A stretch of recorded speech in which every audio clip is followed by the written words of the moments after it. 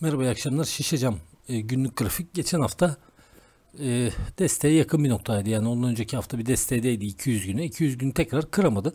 Şaşırtan bir grafik mi? Şişe için değil onu söyleyeyim. Yani burada zaten beklenen odur. Geldin desteğe kıramaması lazım. Yani kırıyorsa biz işte terslik var deriz. E, oradan tekrar 8 lirayı bugün gördük üstüne de zorladık hatta işte de yani şöyle bir 8-10'a kadar değil mi? Yüksek 8-10 evet. 8 lira 10 kuruşa kadar bir zorladı. Yine hafif satıcılığı geçti. Yani o son kısmı beceremedi. Olmadı. Orada kalamadı. Bu satışın sebebi yani cumartesi pazar riskini almak istemeyen yatırımcılar olabilir. E, o da olabilir. E, aklıma o geliyor yani en kısa e, vade düşünürsek hafta sonunu riskini almak istemiyordur belki piyasa. O da olabilir ama çok negatif bir şey mi değil onu söyleyeyim. Yükselen bir trend var. Yine kısa bir boğada şişe. Bu kısa boğa kısa vade boğa sürüyor. 50 gün üstüne çıktı. 8'in üstüne e, tekrar çıkması yani tam 8 kapanış yaptı ama olumlu. Yani şu banda gördüğünüz 8-8-20 bandına çıkması olumlu.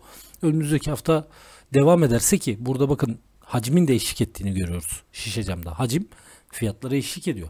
Ee, devam etmesi bu tür durumlarda beklenir. Yani beklenti dahilindedir. O, o taraf daha kuvvetlidir aslında. Ee, devam ettikçe 8.20 var yani tepede bakacağımız yer orası arkadaşlar şişede. Dönecek dolaşacak. Oraya değerse 8.20'ye yani bir %2-2.5 daha verirse bakacağız bakalım üstünde kapanış var mı yok mu 8.20'nin. Kapanış varsa yukarı doğru e, yani ivmelenir mi onu tam bilemiyorum ama ivmelenebilir.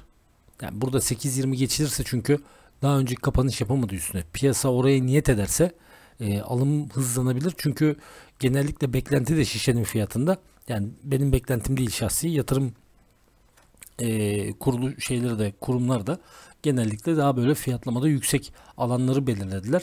Sıkıntısı şu alanı, şu gördüğünüz yatay alanı aslında geçememesi oldu şişenin. Şu an iş bir V formasyona doğru sanki gidiyormuş gibi bir hava var. Bakın şuradan değil mi bir V formasyon olma ihtimali var. O yüzden önümüzdeki hafta devam ederse 8.20'ye bir kere bakmak lazım. Aşağıda nereye bakmak lazım? E 7.73 kırıyorsanız 7.70'in altında e, makas da çok daraldı bu arada tabi. Marj da daraldı aradaki. 7.70'in altında kapanış görüyorsak eh yani bir 7.44 çok sürpriz olmaz. Daha önce böyle yaptı. Tekrar aynısı beklenebilir. O yüzden e, bu alanlar takip edilmeli. Felaket yani felaketten kastım böyle çok endişelenecek şey varsa o 7.44'ün kırılımı onu söyleyeyim. Yani burada 200 gün şişe kırarsa bu endişe yaratır piyasada. Orada biraz daha belki satış baskısı artabilir. Buraya da dikkat etmek lazım o yüzden. 64 RSI momentum güzel. E, senet güçlü. Alıcılar önde, hacim önde. Görüyorsunuz yani göstergelerde al kestiler ve devam ediyorlar. E, olumlu. Yalnız bu yükseliş devam ederse 8.20'ye gelirken bakmak lazım. 74-75 üstüne şişe zor RSI'de pek e, nadir olur. Yani mesela şurada şeyde oldu. Ekim ayında oldu ama birleşme vardı. Yani birleşmenin hikayesiyle oldu. Genellikle son dönemlerde 8.20'deyseniz ve RSI 70'in üstündeyse satıcının geldiğini orada görüyoruz. Yani o yüzden mesela ne yapılır? Genelde şöyle ben hani kendi adıma konuşayım şöyle yaparım. E yani 8.20'ye gelmişim değmişim şimdi. Ee, orada böyle gerçi gelirse şöyle bir şey var. Çok fazla RSI 70'in üstüne çıkmaz gibi geliyor bana 8.20. Momentuma bağlı tabii onu söyleyeyim de çıkmayabilir. Ama 8.20'desin RSI 70'in üstüne çıktı.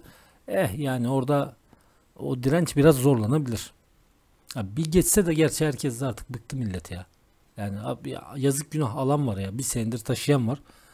Fiyat birleşmenin yararını görecek diye. E, bilanço birleşmenin yararını göstermeye başladı. Aslına bakarsanız ama fiyatlara yansıyan bir durum yok. Geçen hafta da söyledim. Umarım yansır yani. Ee, özel bir formasyon yani o giderse V formasyon belki olabilir. Ee, o var. Onun dışında da bir şey yok. Herkese iyi akşamlar.